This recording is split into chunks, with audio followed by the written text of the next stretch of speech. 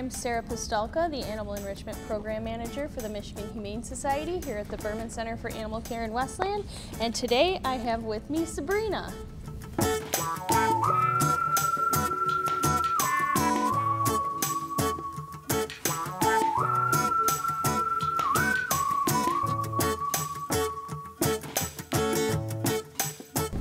Sabrina is a four-month-old puppy who came into the shelter because her owner could no longer care for her. She's fun, energetic, and she has a lot of manners to learn. Sabrina's a typical adolescent. She is really energetic. She hasn't had much time in a home to learn how to appropriately interact with people, so she's gonna need a lot of work with positive reinforcement training. She likes to chew a lot, so it's gonna be important to provide her with lots of toys and lots of training time. It's always beneficial to take your dog to positive reinforcement obedience classes just to help develop a bond between you and your dog and to help them learn what your expectations are. Sabrina is looking for a home with um, energetic owners who don't have young kids around so Sabrina can learn how to act appropriately with people. She is very mouthy, she's jumpy, and she's very playful. So she needs someone that has a lot of time and patience to spend time with her so that she becomes a very nice and polite young dog. If you're interested in adopting Sabrina, you could come to the Berman Center for Animal Care on Newburgh Road in Westland. All you'd need to do is come in, meet with her, fall in love, and take her home the very same day. Sabrina's already spayed, and she's had her age-appropriate vaccines along with a dewormer as well. I'm always on the go. I would enjoy exercise, training, and playing with you. I love to be pet and touched. You can pet me anytime.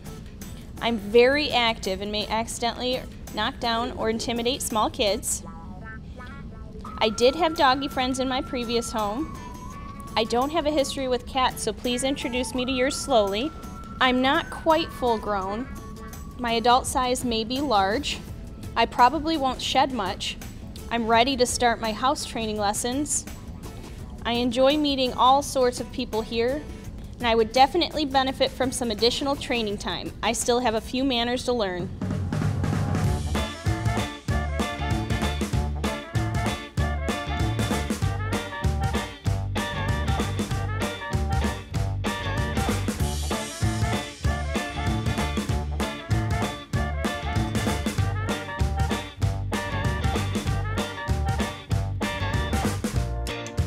This is Stanley. Stanley is a domestic long-haired cat. He's about 10 years old.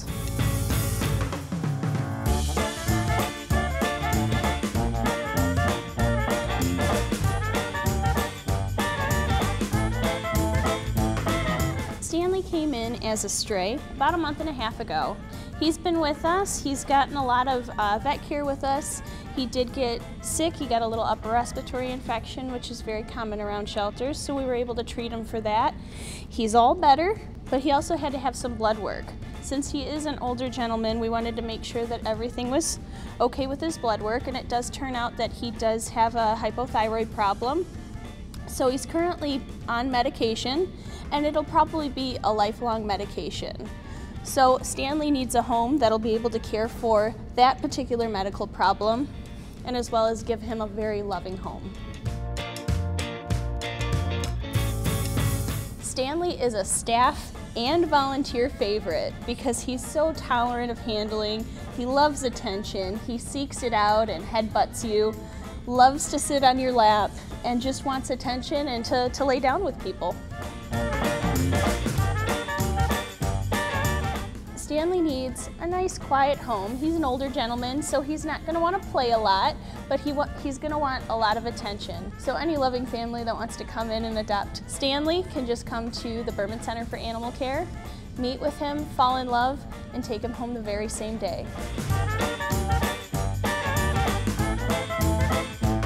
Stanley also has some tartar on his teeth, so he does have a waiver on him for a dental grade 2, Um, what that means is he's an older kitty and his teeth are not in the same shape they were when he was younger. So you'll want to keep him monitored with your vet so that he gets the proper dental care and he doesn't have any issues later on in life.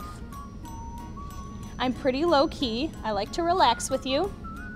I love to be petted and touched. You can pet me anytime. I don't have a history with children, so please let me meet yours first. I don't have a history with dogs. I don't have a history with cats. You can expect me to shed a bit, but frequent brushing will help.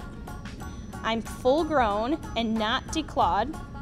I use my litter box consistently. I enjoy meeting all sorts of people here, and I'm ready to find my forever family.